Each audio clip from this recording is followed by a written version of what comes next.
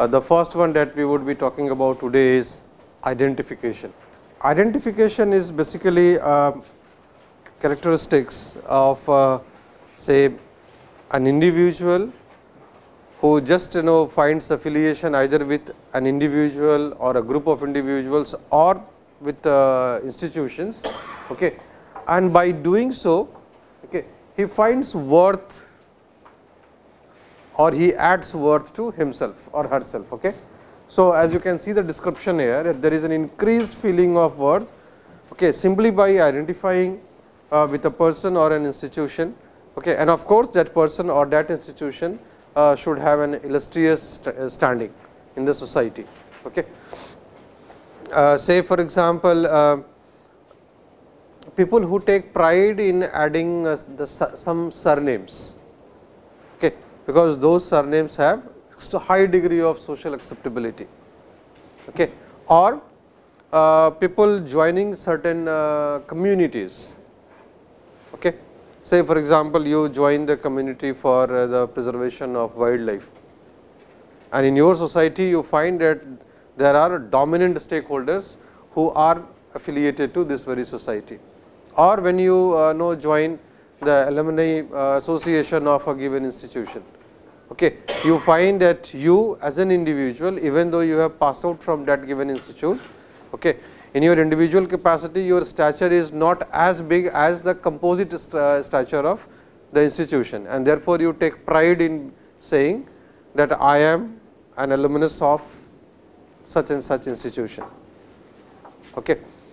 Uh, similarly, institutions they can also decide that we have our own standing, but if we collectively stand our position becomes far more stronger. Okay like say you can have IIT Kanpur uh, Alumni Association, you could have IIT Delhi Alumni Association, IIT Bombay Alumni Association, perfectly fine. but then you realize that if you make something like Pan IIT, your strength increases like anything. Okay. so, this is basically the state of identification. Institutions, they do not have to you know, use defense mechanisms, but individuals, they have to do that. Okay. The next uh, defense mechanism is introjection. Okay. Introjection is a, a, very different type of a defense mechanism in a sense that rest all defense mechanisms that we have discussed uh, throughout this uh, these days were the defenses where you apprehend that there could be a threat to your ego and therefore, you use the defense beforehand. Okay and by and large you do certain things uh, which does not allow your ego structure to be hurt. In introjection what happens? You start incorporating external values okay, to your ego structure. This is something that, that was not done in any of the defense mechanisms. No? So, here what happens that you actually remain what you are but because you see that there are some worth replicating uh, know, things, there are some worth replicating values uh, that others have. Therefore, you start selecting, picking and choosing those uh, know, uh, worthy external values and standards and you incorporate into your own ego structure. Okay. This whole exercise is done so that you are not left at the mercy of others. Uh, the best example of introjections uh, could be where you have been patronizing one type of an ideology okay and then you realize that the society now has uh, the dominance of those who are opposite to your ideology fine and then you introject their values into your own ego structure okay so that you are not at the mercy of them rather you also say that fine uh, no earlier I was like that, but now I think this group is correct, this viewpoint is correct, this is introjection. Uh, very commonly seen uh, when you find uh, society under transition. Okay. Uh, say uh, cases like a rival group which is also into merciless no, prosecution, merciless killings, okay, complete intolerance for people belonging to the opposite ideology, if they come into power, then you realize that many people start showing introjection as a defense, because if you uh, know get disaligned from the dominant ruling group, your survival is at stake. Okay. Now, you cannot transform the whole way you used to think about the world and the worldly affairs. So, what you do?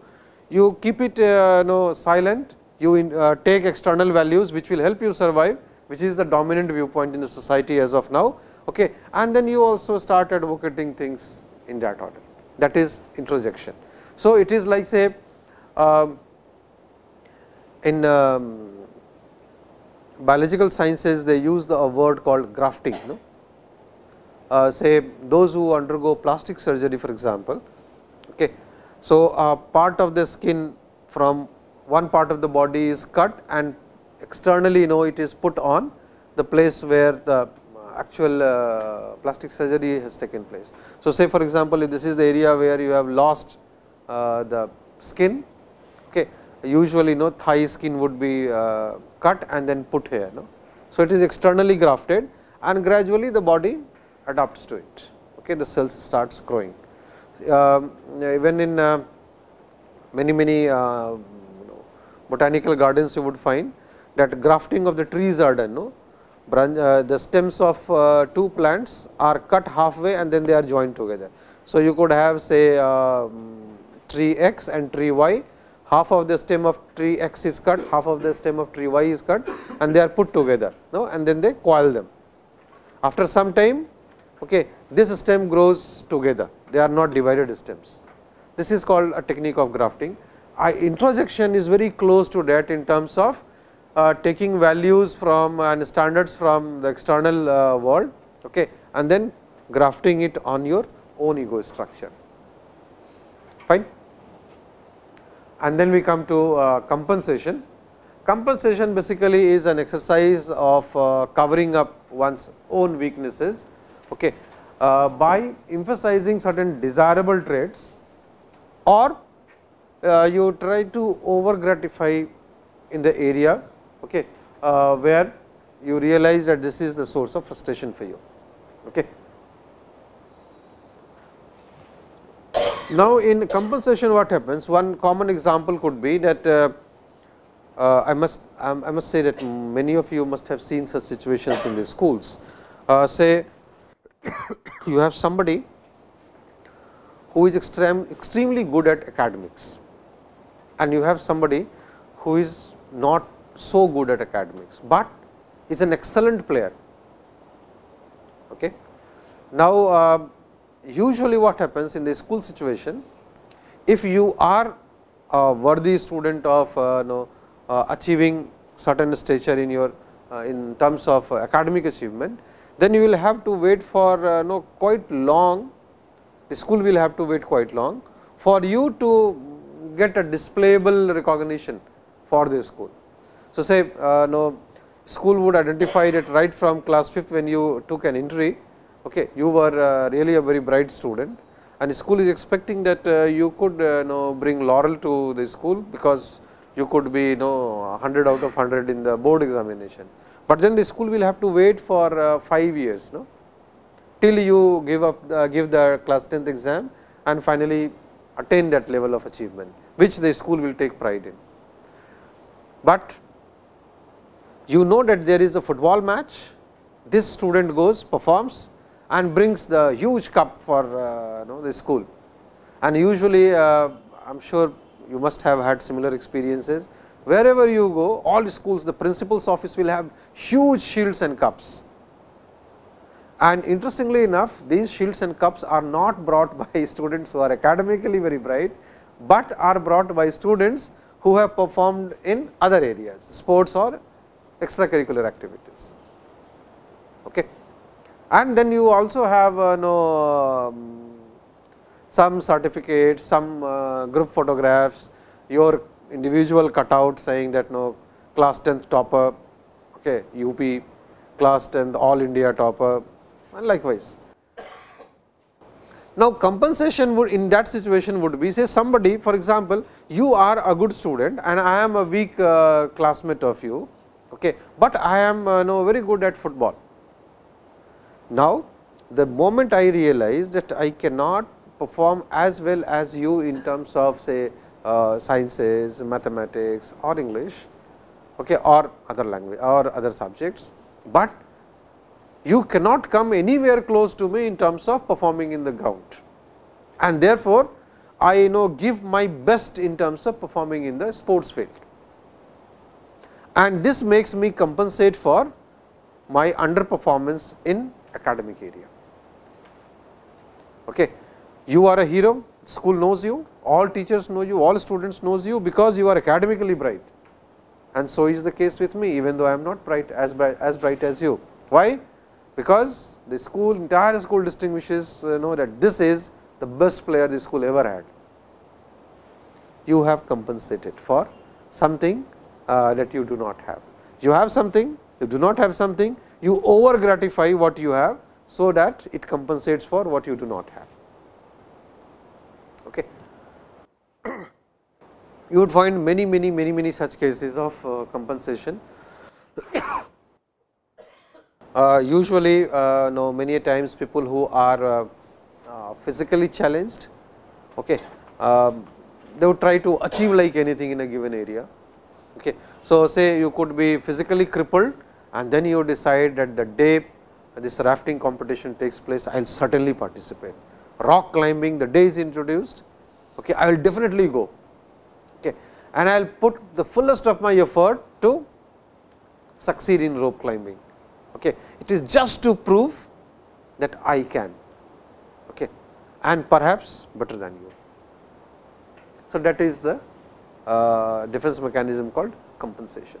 With this we have come to an end of uh, the whole list long list of defense mechanisms. Uh, there is one interesting defense mechanism uh, that we did not discuss what is called as sublimation. Okay.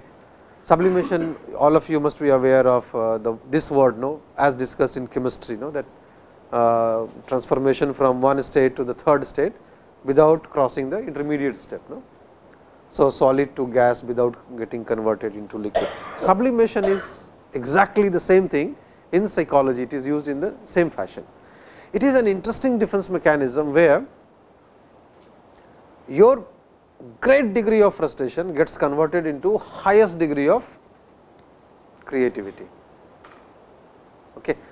So, it is something like say uh, you are engaged uh, in an activity you did not get the desired goal and non fulfillment of the goal becomes a great source of discomfort for you. It induces great degree of uh, frustration in you, but instead of sinking down, you sublimate that energy, you convert that frustration into a creative outcome.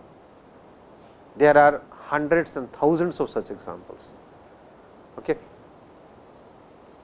You feel cheated in a, in a love affair, and then all the pain that you derive out of it out of the separation okay, gets sublimated into a piece of poetry.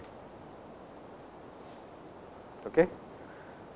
You become a great warrior, you perform the best in the battlefield okay, simply because you were repeatedly told by your uh, friends that you are not worthy of being in the armed forces. Okay. I will give you couple of you know real life examples. Um, those who are aware of the Bangla literature and those otherwise interested in literature would know uh, a very uh, renowned uh, Bangla writer named Bibhuti Bhushan Bandyopadhyay. Bibhuti Bhushan Bandyopadhyay uh, wrote a story uh, and uh, it was very very popular. He was at his time he was one of the very popular you know, writers. And he wrote a piece of literature which somebody read okay. and that somebody uh, later on happened to meet uh, know, this author who finally wrote it uh, through which we came to know I also came to know through that very piece. What happened Bibhuti Bhushan Bandyopadhyay uh, no, wrote a piece of uh, this creative literature titled Nilanguriya. Now, Nilanguriya was published, somebody uh, reads it, is deeply impressed. And then he uh, wrote back to the author saying that you did not do justice to this character. The story was that there was a boy from a small town who goes to Calcutta for his education uh, and then uh, perhaps he was involved for his own pocket money, he was involved in providing private tutorship to a girl uh, who happened to be a daughter of a very uh, renowned uh, barrister in Calcutta. Uh, these two, this boy and girl, they fall in love with each other. and finally, because of all those social and economic compulsions, there was no way out for them to get married. And there was some some uh, dispute that took place because of this issue and the girl thought uh, know that the girl told this boy to leave the house and she thought that he would turn back and say that fine uh, no I am sorry and why do not we go ahead with this relationship. But in turn the boy did not say anything, but quietly walked out not only of her house, but out of her life. Okay. Now, uh, th this was the crux of that whole uh, piece of literature. Now, this uh, reader after reading this Nilanguriya, he writes to Bibhuti Bhushan Bandyopadhyay that you did not do justice uh, to the girl. okay. What was the harm if the story would have taken a different turn? Okay. Much later, this boy who was the then private tutor studying in one of the colleges in Calcutta becomes a celebrated writer. This girl who now happens to be uh, the member of family of some other uh, man um, sends a letter to her congratulating on uh, his whole uh, achievements and sending a precious stone that usually people wear no that neelam uh, stone. And um, says no that uh, given your zodiac sign and given the level of achievement that you have attained in your life this is a suitable stone you should certainly wear it in finger x okay? And this would add to your glory and all those things. Now later on it was identified Bhushan Bandyopadhyay uh, as per the story goes that he replied back to this reader saying that uh, I am uh, really humbled by your uh, positive comments uh, but it is always good because you read the translated version, it is always good to know read the original version.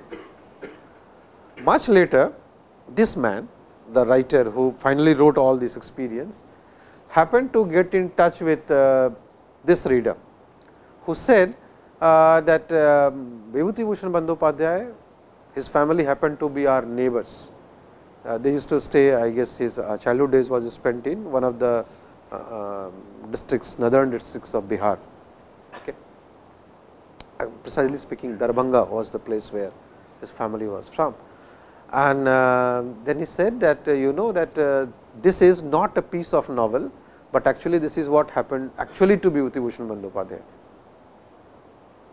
Okay. You have such stories at one level and you have several other celebrated stories which has come to uh, the silver screen also, no Laila Majnu for example, where finally, uh, the life of two individual gets ruined in the process, okay, just out of uh, breakout in a relationship. Other case where there is a breakup in the relationship, but then you get finally a creative outcome out of it. Uh, similar type of story I know about a great freedom fighter, uh, but we will not discuss it right now here. Uh, the, the whole story was that uh, of uh, bravery that he demonstrated after which he was hanged uh, by the British government. Okay. The entire act of bravery was driven by the fact that his friend said that you refrain from uh, know, participating in such acts because you do not want you to be separated from a particular girl and this man wanted to prove that nation comes first, relationship comes later. Okay, uh, because he was not in the actual plan that he will be executing this uh, blast against the gov uh, British government. There are there are several such stories. No, there is a park when you move from um, Delhi towards Jaipur. Okay, there is a park where you have the whole uh, no um, story of uh, the life of uh, Shiva and Parvati being uh, put in the form of sculptures. The man responsible for coming forward with that said that um, he was in a relationship and uh, uh, the girl did not like you know, him playing with uh, you know, stones. And of course, those who are into sculpture know their hands are you know pretty tough, very very uh, you know thick skinned they become their palm. Uh, the girl did not approve of it and this man was you know enjoying this act like anything. And finally, he had to choose between the girl and sculpture and he opted for a sculpture. And uh, when he was given this assignment, he would continuously work for hours and hours together.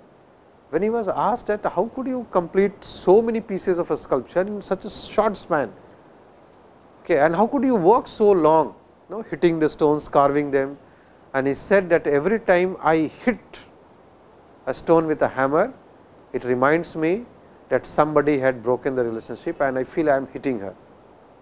Okay. That you have broken the relationship, first hammer, second hammer.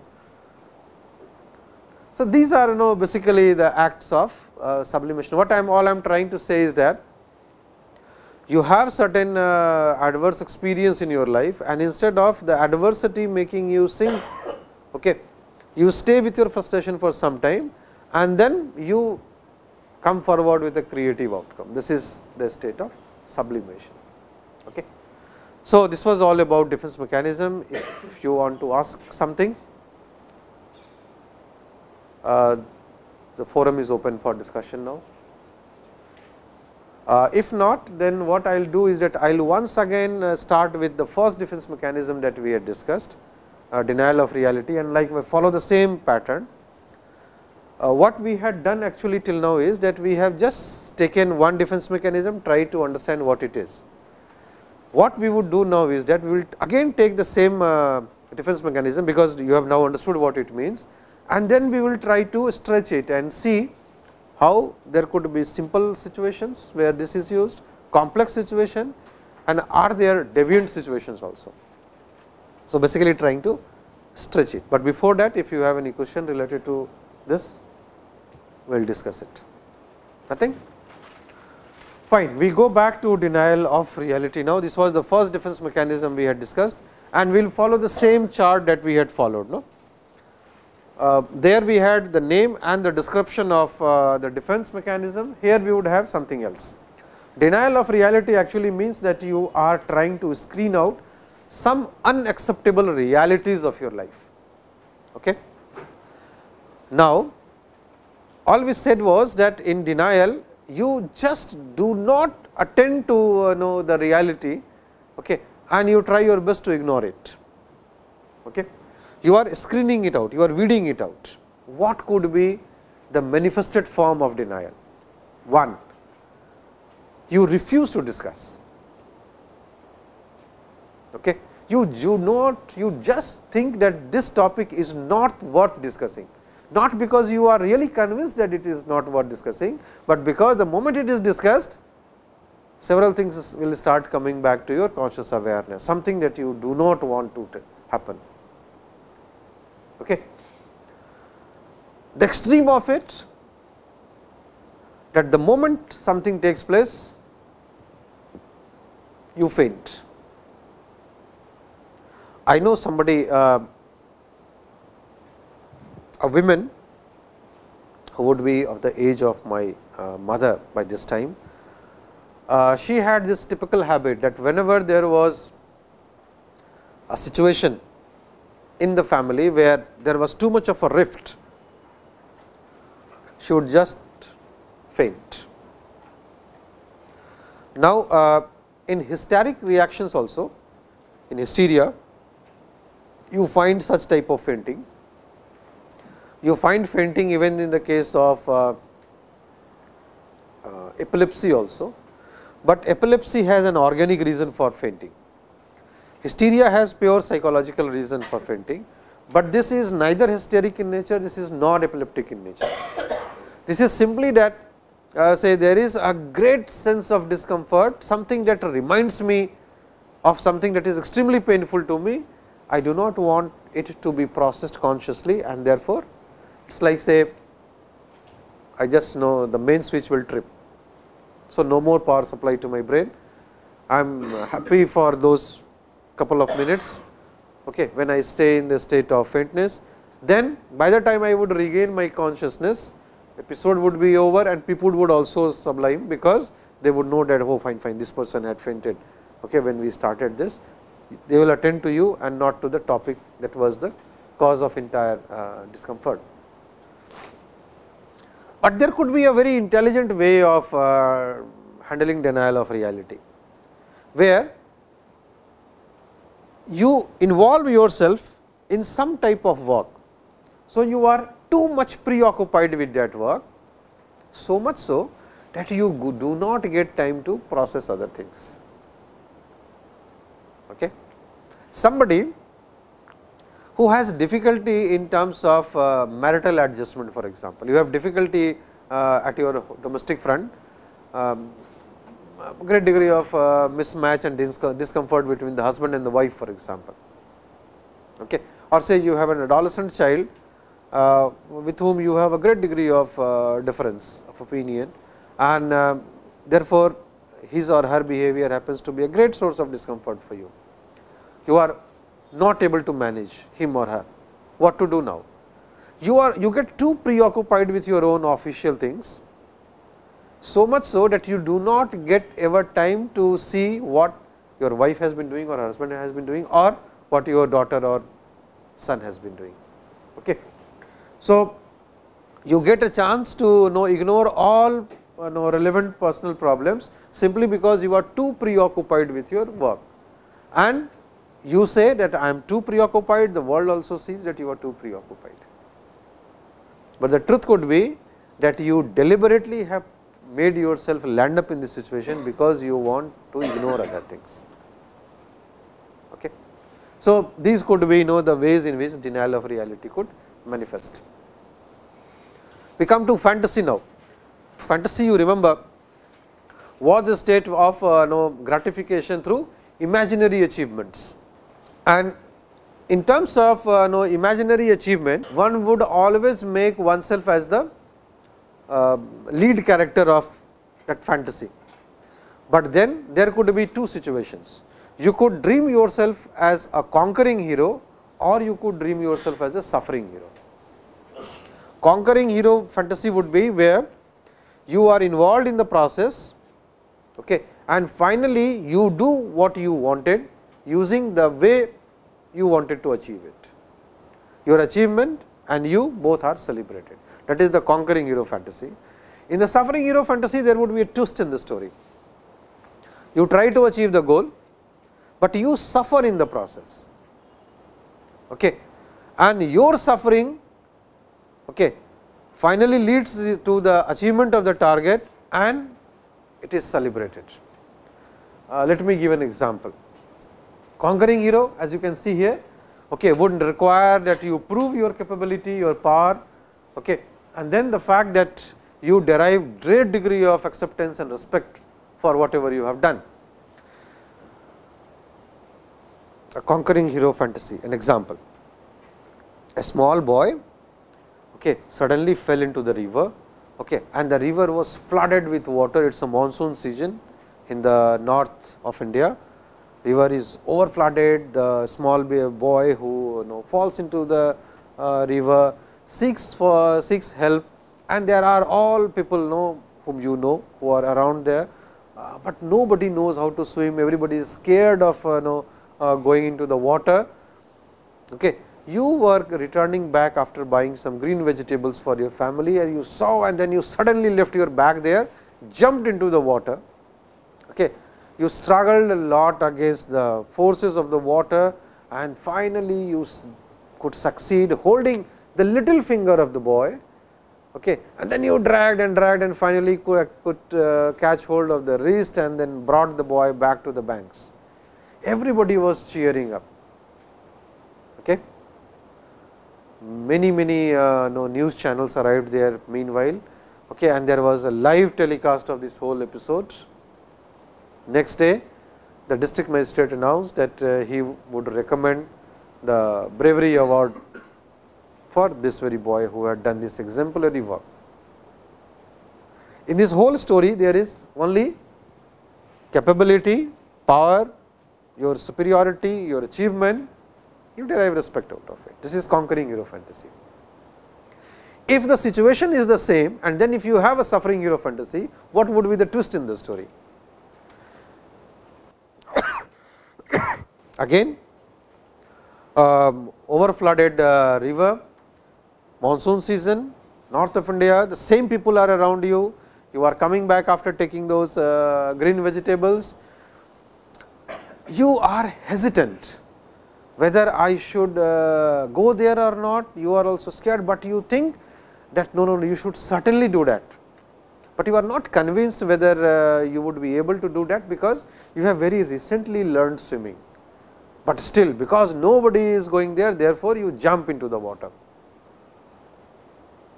Okay? You could only manage to catch hold of the little finger of the boy, tried your best to catch hold of the wrist, but it was extremely difficult. And because you had to drag the whole body of a live boy, okay, using the little finger, you had to use excessive force. You were completely exhausted. By the time you were able to come to the banks, okay, suddenly there was a high flow of uh, water. Okay, you could come to the bank and uh, apply the best of your force to throw this boy on the banks. The boy reached the bank, but then meanwhile, the next flow of water took you away to the mainstream. You drowned and you died. But then camera was still on. This, this uh, whole live telecast is going on. Your body is recovered, okay, little ahead. And then the district magistrate says, okay, posthumously we will uh, know, ask the government of India to give the uh, bravery uh, award to this very boy. And then the head of the nation decides that we will uh, know, give the tricolor to the dead body of the deceased. Okay. The national flag will be brought uh, halfway down all the way of paying national respect and the superintendent of police and the district magistrate decides that uh, no there would be you know the whole uh, official way of uh, cremation. So, gun salutes um, all those all those all those things. No? Now, you are able to prove your capability, but you suffer in the process. Target is achieved at a cost. Okay but still you realize that you are the hero. Okay. So, this is all about fantasy. It could take a different shape also, where at the end you need not celebrate it to that extent. You could say that uh, know, you could make it extremely negatively loaded in a sense that uh, although this exemplary performance was there, the performance was not recognized. Okay. So, that is about fantasy, but fantasy would always have this bipolar dimension either you go for a conquering hero fantasy or you go for a suffering hero fantasy. Yeah. So in fantasy the person really believes himself to be a hero just wishes to like, does he really believe that this thing will happen? See fantasy you do not have a belief that this has actually happened because this is all imaginary achievement. No? But the fact that for certain period you are involved in that gross uh, phase of imagination, you derive that satisfaction. You did not jump, you are aware that you did not jump, but this 3, 4, 5 minutes of that episode of whole visualization and pleasure that makes you very pleased. Okay. But after that uh, phase of fantasy is over, it is not that you realize that this has actually happened, that does not happen. Then we come to repression, this was the third defense mechanism that we had discussed. uh, which was uh, know basically you remember that we had talked about uh, uh, real life experiences, suppression and repression that distinction we had established when we were talking about this. The important uh, construct in case of repression is that you try to selectively forget.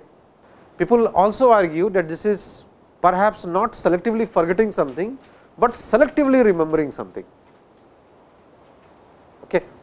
So, things which you find uh, hurts your ego, okay, you simply uh, choose that aspect and then you, you know, put a dark curtain over it, it is forgotten. You do not recollect it. Okay. So, this uh, viewpoint is always there, no, that whether it is selective forgetting or is it selective remembering, but then both of them actually refers to the same thing that either say if I have a say such this long uh, experience and this is the period that I want to forget. Selective forgetting would say that you select this period and then you cover it up. Selective remembering says that you select this period and blow it, zoom it, so that this part becomes minimized and it is visible. Okay. Different type of situations uh, one can experience. I would um, uh, share a very interesting story with you, little painful. This was when the Kargil war was on and uh, after the war that was the first war uh, to the best of my knowledge when uh, there was a live media coverage okay, uh, from certain distance uh, no, all the news channels will continuously continuously show the visuals of the war front. Okay. And all it's because it's all you know distant type of a war, because you stay at one point, the, your enemy is at some other unseen point that you cannot see, but then you have the bombshells, you have firings that taking place. No? So, enemy is not visible, only the bullets are visible or the know, bombshells are visible, but this was for the first time that it happened. I very distinctly remember it, no? because that happened when I was an adult, so I could remember it. There was a very interesting episode there, a sad episode when uh, uh, media team was from uh, one of the news channels and the people on one of the war fronts. This group was there. They had finally made up to a particular point that they wanted to achieve. Okay. And uh, the two officers who were there in front of the camera were showing you know, uh, what you know, actually took place and how difficult it was to achieve the target okay, and finally, we have done it. Okay. And then suddenly a bombshell came from the other direction and it beheaded the officer who right now described the achievement. Now, these two individuals were still standing there and the man who was describing it later on actually saw this whole thing taking place. No? So, it is like say something like we are talking to each other and suddenly a bombshell comes and you could really see know, how a piece of uh, know, uh, bombshell takes away my head out of my body. Now, having seen this later on after a week I think when this person was asked what actually took place, what did you see there, he started showing amnestic experiences of the battlefield.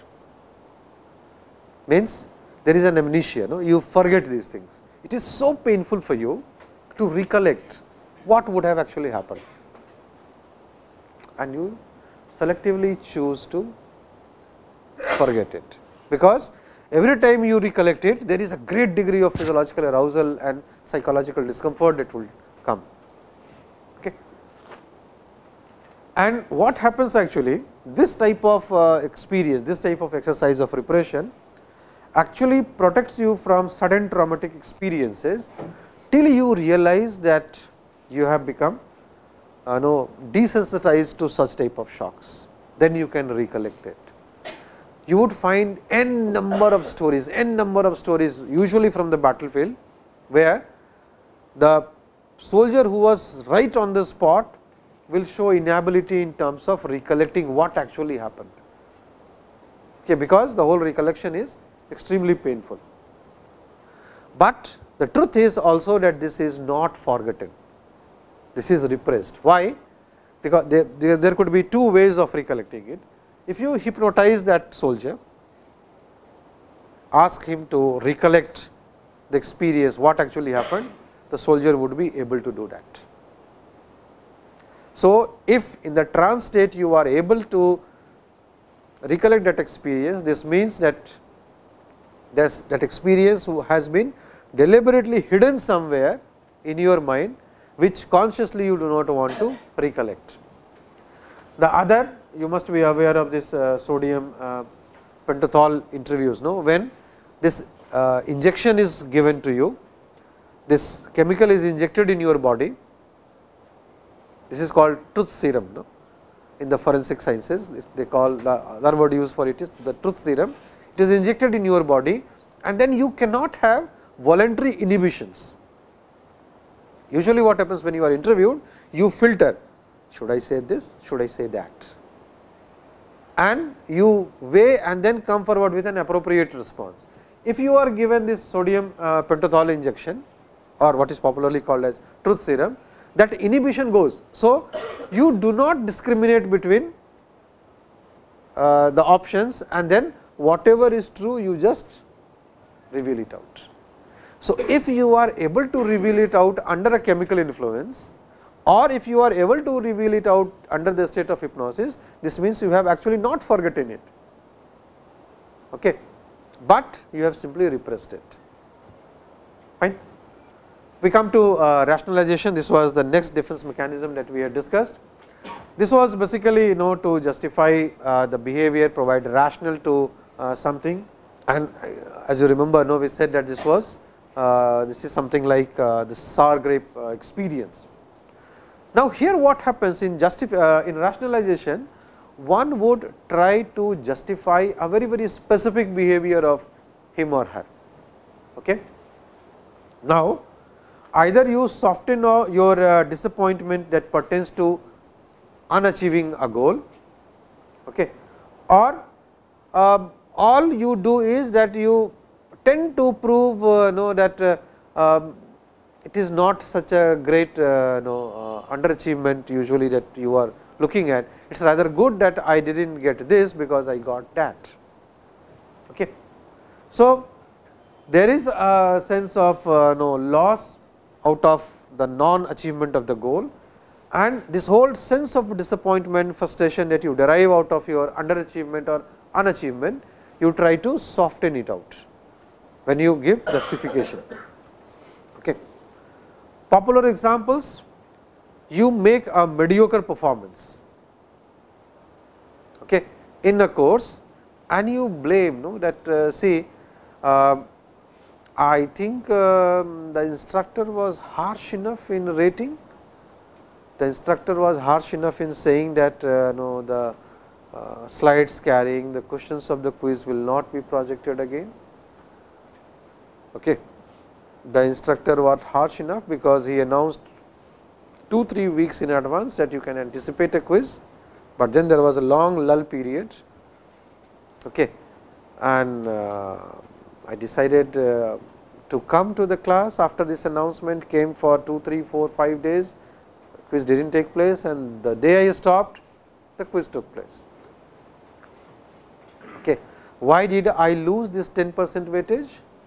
Was it is not my fault, it is fault of the instructor.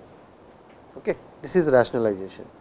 You say uh, you know um, I have this cough and cold, I have uh, no little bit of fever, sometimes I have headache. Therefore, I want to safeguard myself against this chilled winter. And now you put in this chilled winter, you put a 8 to 9 slot for this course. Okay, how can I uh, know come to the class. So, you are actually doing some atrocity to me. Why I lost 10 percent? Because you were atrocious. I am such a good student.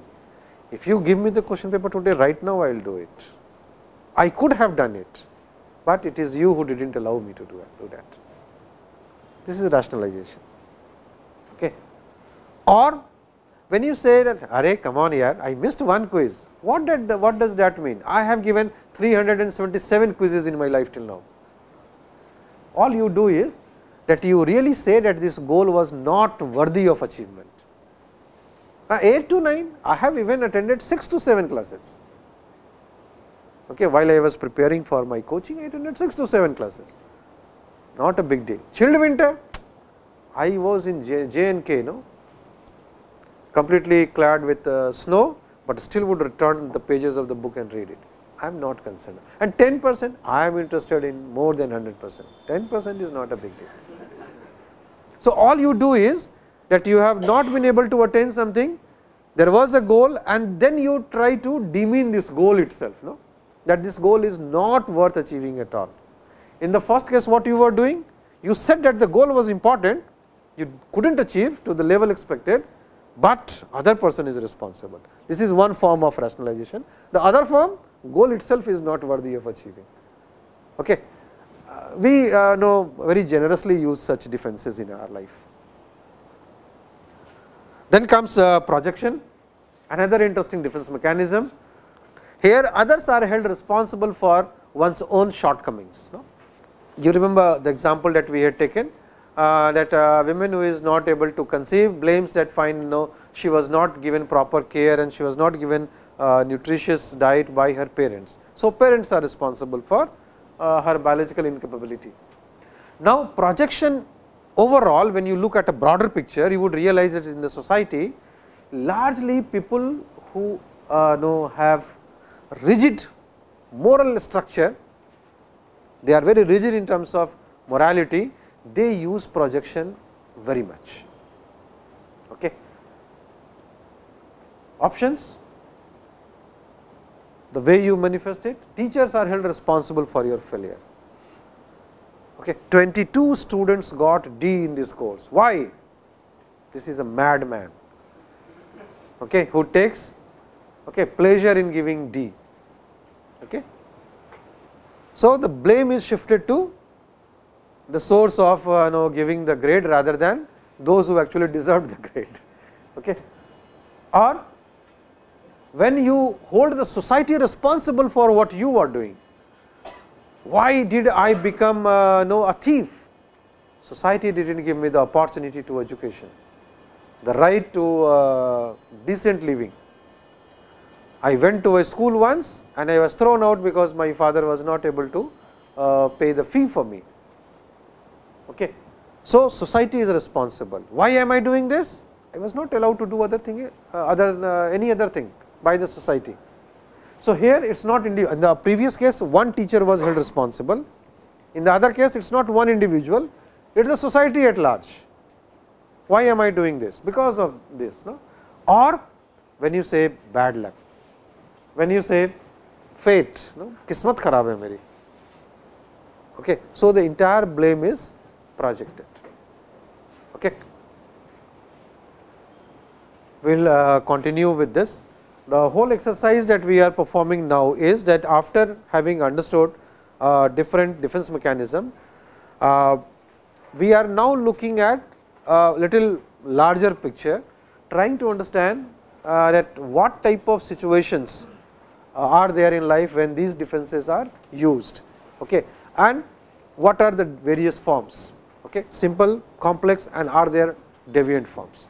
We will continue with this when we meet the next time.